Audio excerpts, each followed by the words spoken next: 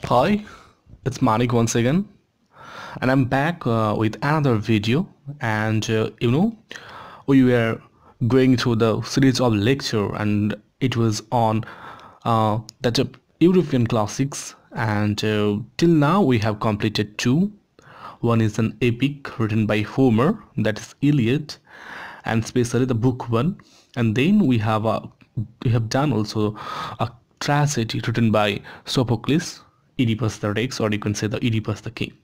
Now our today's concern is another play, and the name of the play is Pot of Gold, and it is written by Plautus.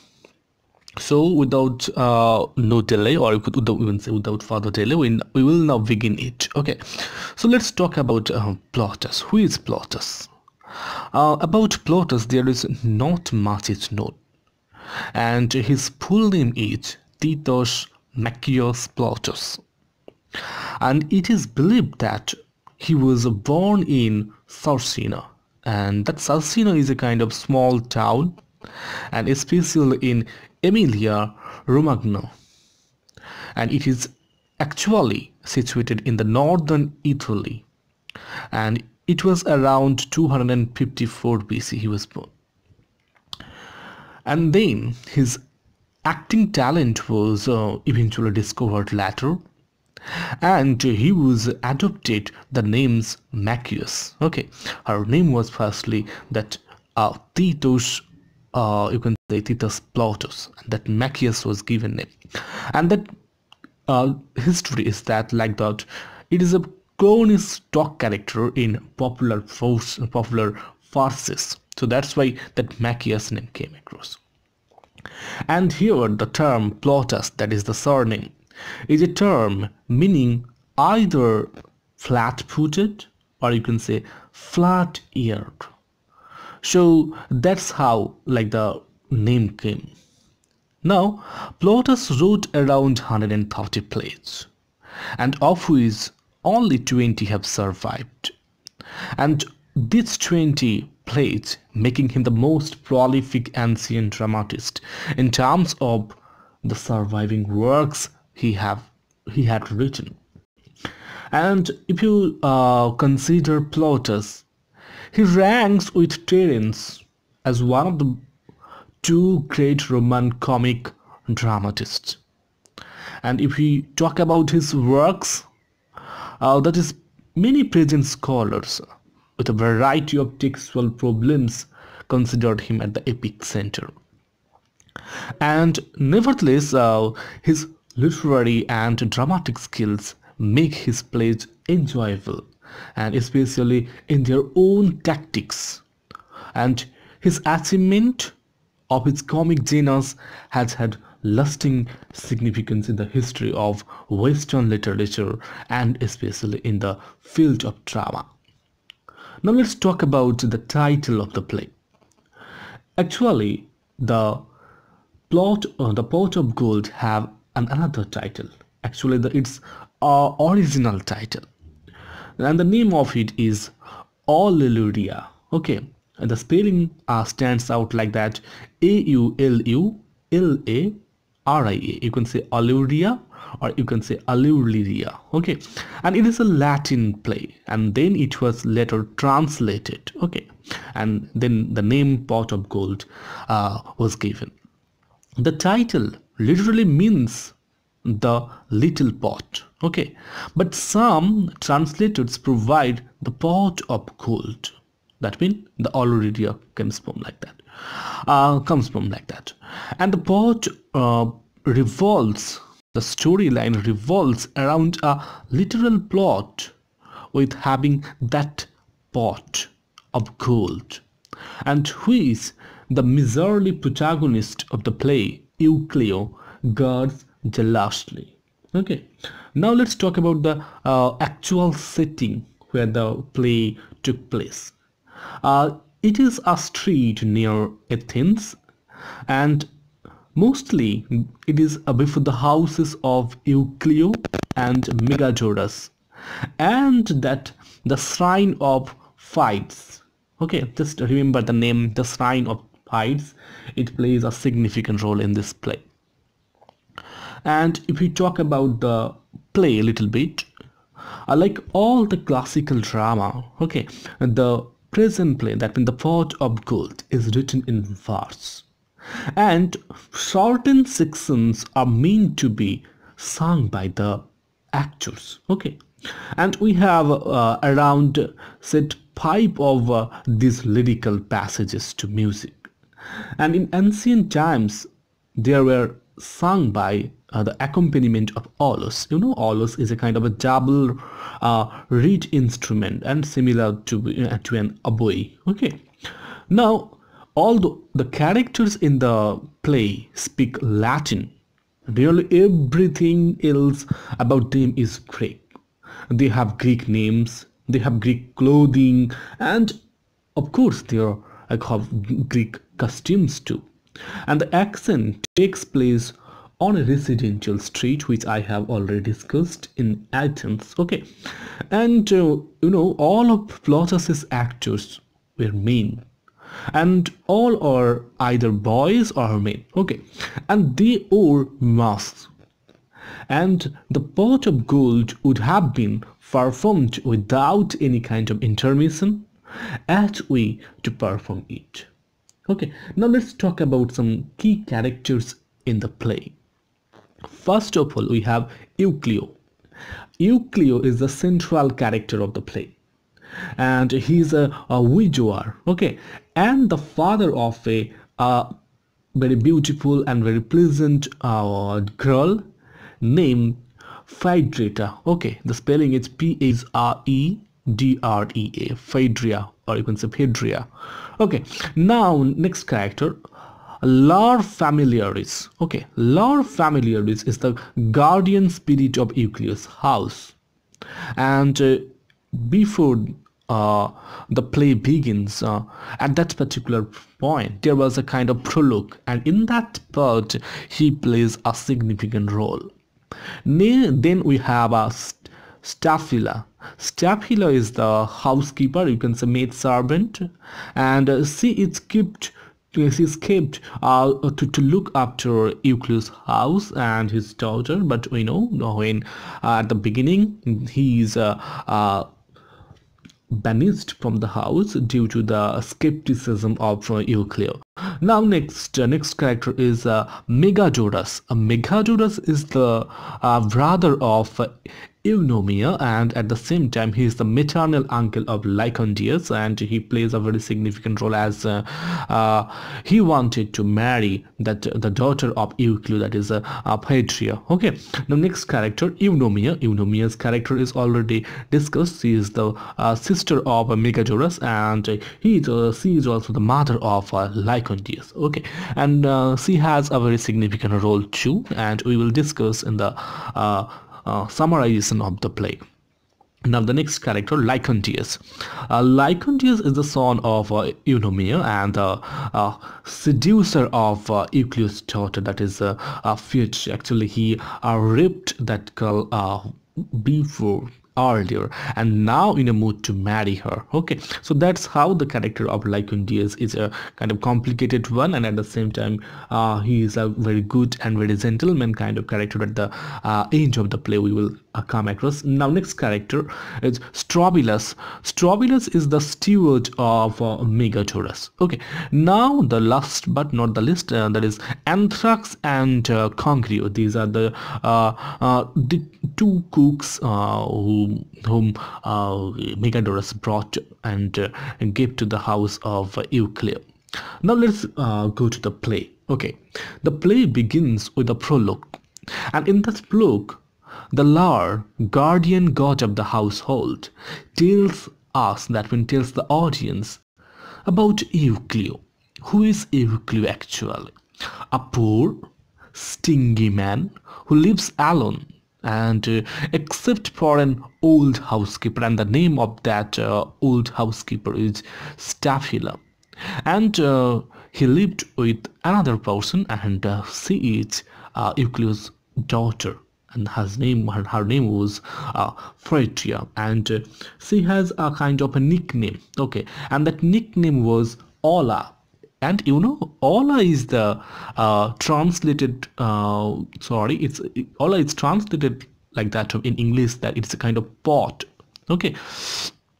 Now Euclid has uh, now no idea how to uh, give uh, his daughter to marry because he is very much poor and he had also no idea that his daughter Phaedria is pregnant and about to give birth and he had just discovered a kind of a pot okay? And that pot was filled with gold.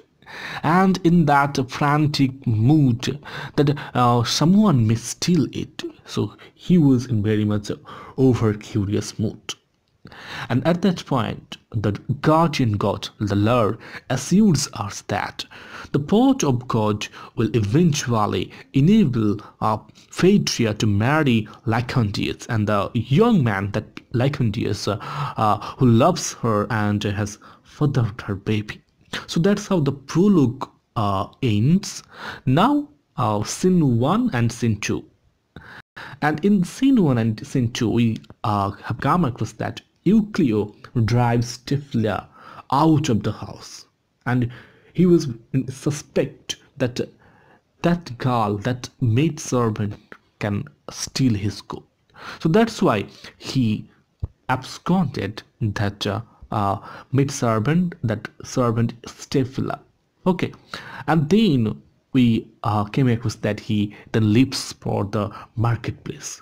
And he is now in a mood to uh, uh, find a kind of free handout. Okay now uh, scene 3 and scene 4 and 5 uh, Eunomia, the character we have already came across, has come to visit her bachelor brother Megadorus. And you know that Megadorus was a, a neighbor to Euclio.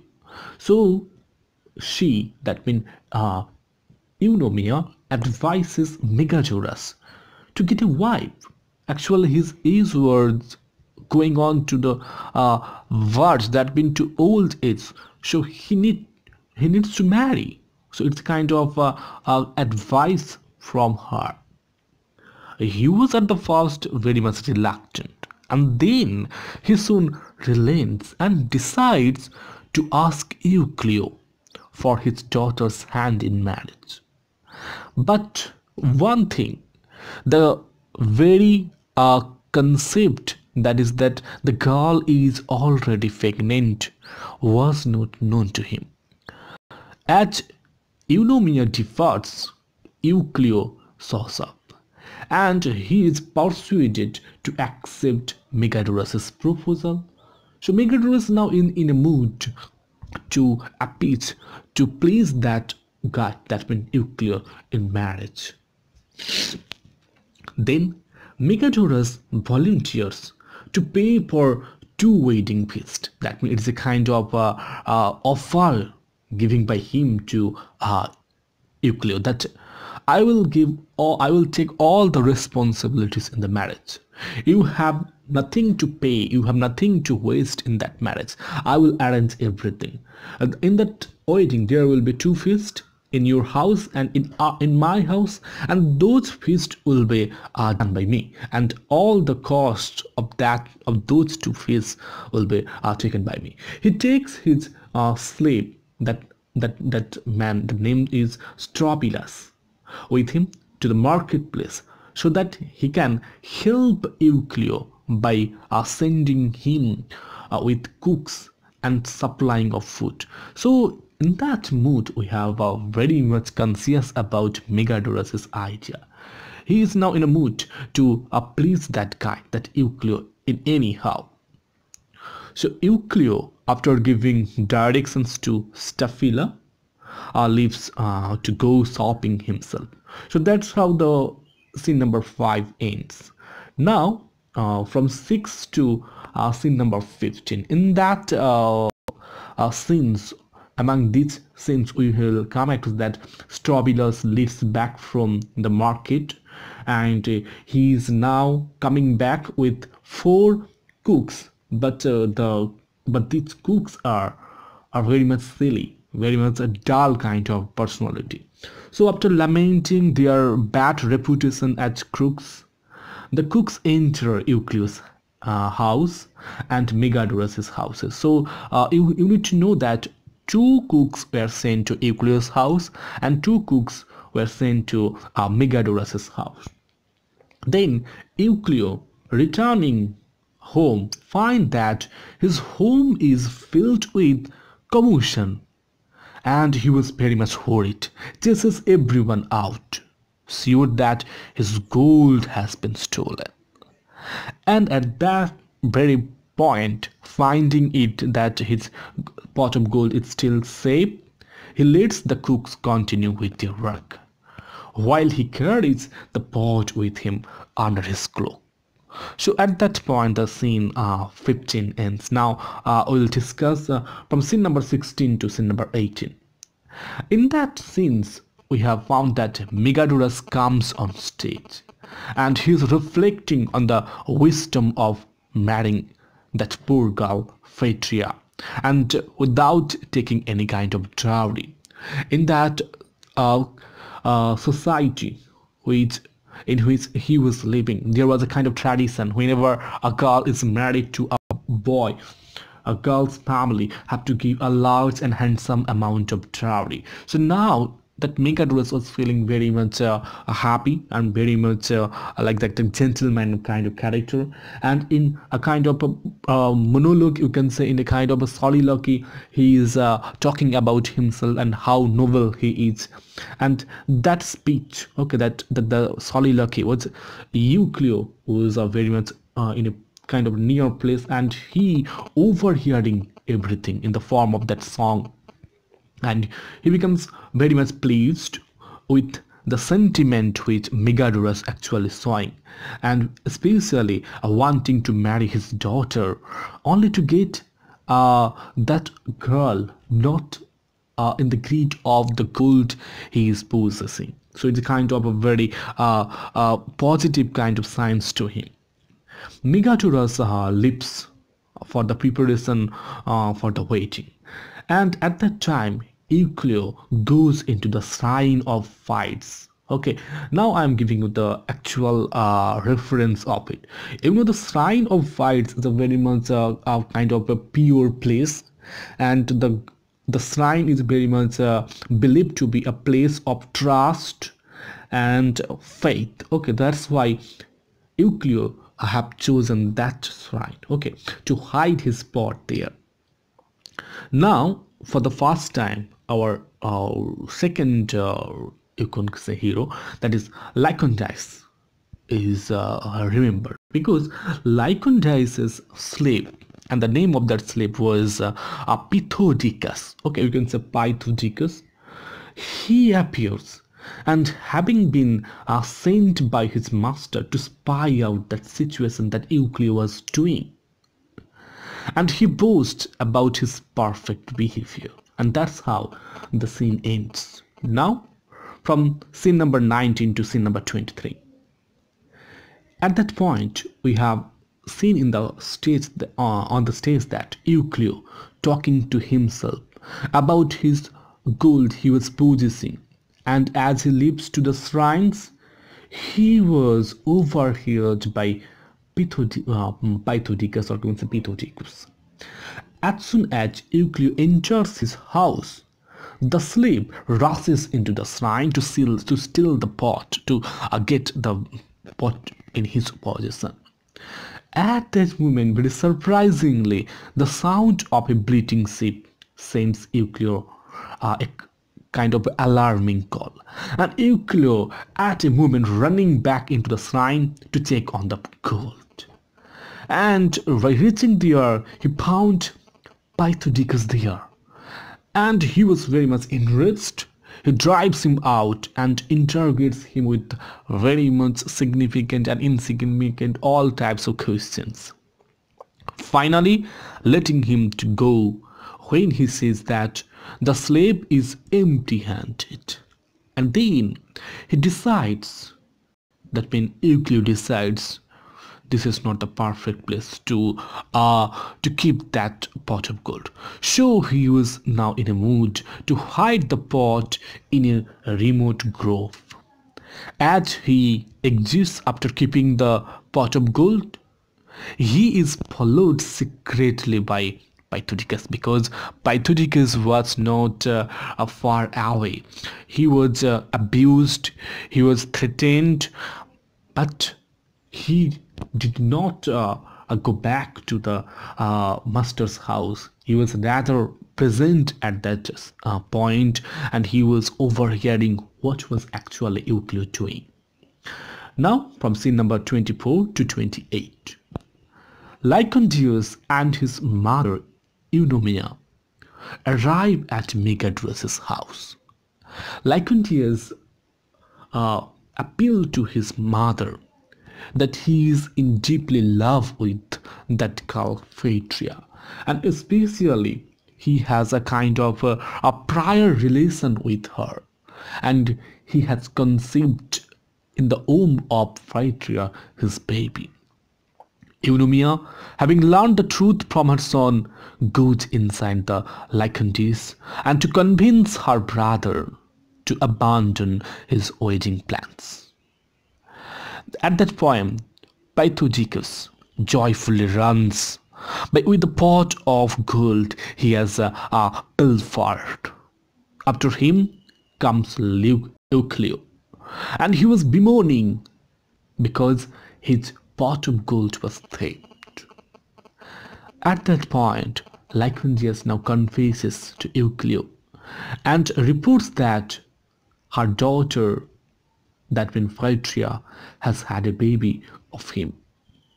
Euclio now are very much uh, uh, in a depression mood and he races inside his house and confirm this that that guy, that slave, Pythodicus, had stolen his pot of gold and having hidden the pot in his master's house. He brags to Lyconides about the theft and ask whether he can buy his freedom with the stolen gold. So the Pythodicus uh, have stolen this pot of gold not because of his personal greed not because uh, his own satisfaction or own gratification and lead a life of luxury. He is a slave and to him his freedom is most important and for that reason he wanted to satisfy he wanted to please his master that is Lyconides. Lyconides was very much offended and he orders him to give the pot back to Euclio because he is now thefting a thing, a pot of gold from a person who is now going to be his father-in-law. So he was very much uh, uh, offended with the uh, deeds of his slave, uh, of its slave.